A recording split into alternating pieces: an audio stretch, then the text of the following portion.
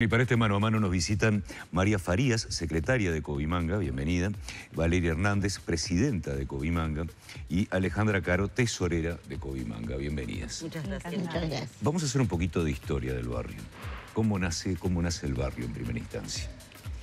Bueno, este, el barrio nace eh, en el año 2002, este, en los intermedios de la crisis. Eh, empiezan a ocupar un espacio que pertenecía a una empresa que había cerrado. Allí este, se forma un asentamiento en ese entonces, eh, se empieza a poblar, al día de hoy tiene 208 familias. Y bueno, se empieza a, a- a armar con, con gente de trabajo, que en ese entonces no puede cumplir con lo reglamentario del pago de sus alquileres y demás, y deciden ocupar este espacio, ¿no? Eh, nosotros estamos ubicados en Manga, en la calle Peterosi, entre Carlos A. López, Mendoza y José Belloni. Eh, son casi hecta- eh, siete hectáreas de campo y bueno, y allí hemos desarrollado este, nuestro hábitat. ¿Qué características tenía el barrio cuando recién empieza? Porque generalmente nosotros cuando escuchamos la palabra asentamiento, enseguida la asociamos a Cantegril, ¿verdad? Cierto. Y no todos los asentamientos nacen de la misma manera. Es verdad. Bueno, en el barrio, obviamente, como en todas partes, cuando se inicia, hay absolutamente, eh, hay diversas este, familias, dif- diferentes culturas, maneras de pensar y de accionar. Nosotros en este caso tenemos en su mayoría, ya te digo, gente de trabajo que de a poco ha ido construyendo sus espacios, este, sus viviendas de material, eh, armando un sentido, de- convivien- convivencia este, en sociedad bastante normal dentro de lo que uno supone sobre los asentamientos. Y bueno, no sé cómo, cómo definirlo. Eh, ha sido un crecer, ¿no? Desde ese entonces. La estructura, que era lo que preguntaba él, casi siempre se dispuso tener una medida de los espacios y hay calles, o sea, porque como bien decís, a veces cuando uno piensa en asentamiento pensás en algo tipo laberintos. Exacto. Eso no, no fue, no era la idea, siempre cada uno mantiene su espacio, las calles hacia un lado y hacia otro, o sea, siempre fue como la primera idea de convertirlo en barrio, creo yo, y no que quedara como venir a sentarse. ¿Y cómo es la convivencia en el barrio? Porque muchas veces este, nosotros no elegimos los vecinos que nos tocan, No, ¿no? cuando caemos a un barrio o cuando caen vecinos nuevos a un barrio. ¿Cómo es actualmente? ¿Cómo fue siempre la convivencia? La, la convivencia me es buena y siempre lo que sucede en ese tipo de asentamiento es que eh, hay muchos cambios, ¿verdad? Se cambian constantemente la gente que vive allí. Pero actualmente tenemos una buena convivencia con los vecinos y como son gente de trabajo todas, se busca siempre mantener un estatus estable, ¿vio? Está Que claro. la gente que ingresa a la cooperativa sean gente como todos nosotros, gente de trabajo. Quiere decir que ahora entonces eh, hay estatutos eh, que tiene Hay este estatutos barrio. de convivencia, sí. Usted lo llamó cooperativa en este caso. ¿verdad? que es una cooperativa. Es hace tres años que se eh, fundó la Co- Covimanga, que a partir de un cedulón de desalojo que llegó, eh, la presidenta le explica mejor, más claramente. Sí, porque eso, eso es terrible, ¿no? ¿Cómo a veces, surgió? a veces este, uno tiene que asentarse en un lugar nuevo, en un lugar que le resulta extraño al principio, y, y adaptarse lleva un tiempo. Y cuando uno está adaptado es como cuando era, uno era chico y lo venían a buscar al cumpleaños, al cumpleaños cuando estaba pasando mejor, una cosa así. En realidad es un, es un golpe duro tener que, que ir a un lugar que no te pertenece, a sentarte porque no tenés otra herramienta, que fue en este caso lo que le pasó a la mayoría de las familias que ocuparon este espacio. Lo que sí creo que eh, la mayor parte de los vecinos tenían en el inconsciente el sabido de que en algún momento iba a tener que regularizarse la situación de tierra. En el 2011 llega un cedulón de, de desalojo a lo que era el asentamiento Manga 2002. Varios vecinos trataron de organizarse en comisiones para poder llegar a negociarlo con un banco privado que era el dueño de la hipoteca de estas casi 7 hectáreas de campo. Y, y ahí empezaron a trabajar en conectarse y tratar de resolver. Se conforma una asociación civil que no logra llegar a buen puerto por falta de compromiso de los vecinos, porque en realidad un poco el descreer que fue la realidad del tema de regularizar, de llegar a buen puerto, de poder adquirir la tierra, este, y en el a fines del 2013 llega a, nuestras manos en lo que es este, ahora la sede social de la cooperativa, eh, la renuncia del presidente de la asociación civil, este, y nos entrega todos estos documentos. Nosotros empezamos a buscar asesoramiento para ver cómo podíamos llegar a buen puerto, poder adquirir la tierra y llegamos a la conclusión de que por un tema de estatutos, la mejor herramienta era la cooperativa de viviendas. Ahora de, ahora, de cualquier manera, tú dijiste algo que, uno que ha tenido la oportunidad de recorrer varios asentamientos, siempre, siempre ha escuchado eh, la falta de compromiso o la falta de unidad porque uno a veces eh, piensa que muchos de los asentamientos que tenemos aquí, sobre todo en el cinturón de la ciudad, podrían transformarse en cooperativas, podrían regularizarse y además dignificarse también de alguna manera, que es el camino que ustedes han seguido. ¿Cómo se logra esa, esa unión entre vecinos cuando uno ha siempre escuchado, no, acá cada uno está para la suya?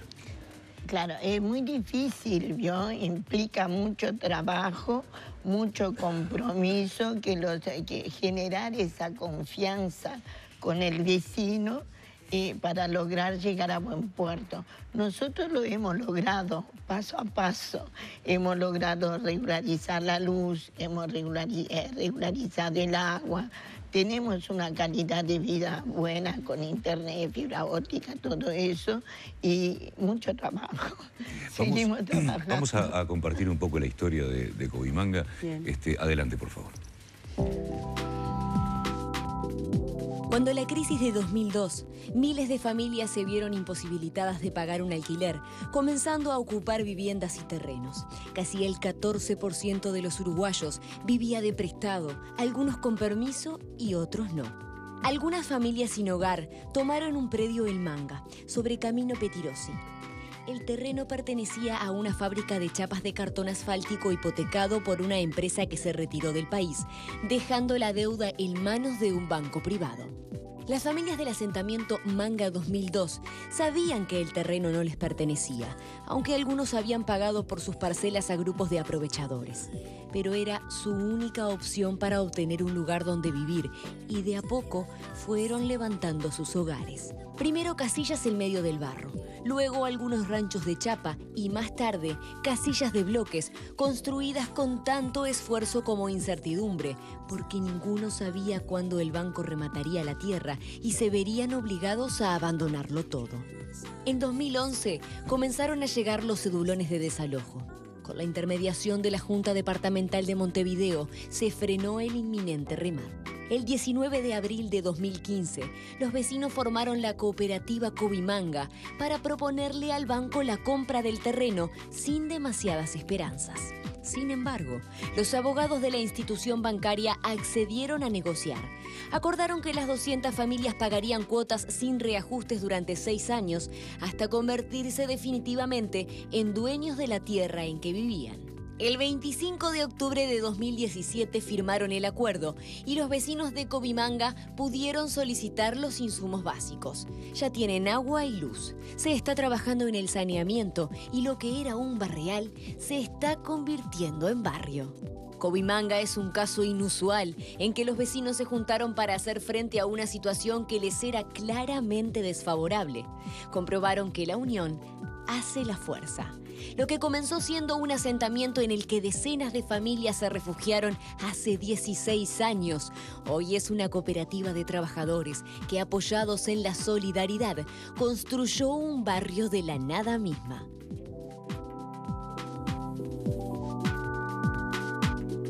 Felicitaciones. Gracias. Gracias, emociona un poco ver plasmado y que llegue a otras personas que es muy importante la llegada de ese proyecto, porque como tú decís, a veces por falta de información no, no se logran las cosas. Habiendo información, la gente empieza a interiorizarse de lo que se puede hacer con trabajo y se logran muchas cosas. No, y además yo estaba pensando mientras, mientras miraba el, el tape, qué ejemplo este para los niños de este barrio, ¿verdad? Porque muchas veces eh, los niños que viven en asentamientos viven con el no puedo por delante, ¿verdad? El no se puede. Y sin embargo, ustedes, sus mayores, les demostraron una cosa diferente, que sí se puede. Sin duda. Sin duda que el trabajo que tenemos este, más duro en el barrio ha sido el social, ¿no? El poder este, incluir al otro. Nosotros este, cuando inauguramos la cooperativa éramos 33 familias afiliadas a la cooperativa que dimos el empujón inicial para, para este proyecto que hoy en día eh, nos enorgullece mm.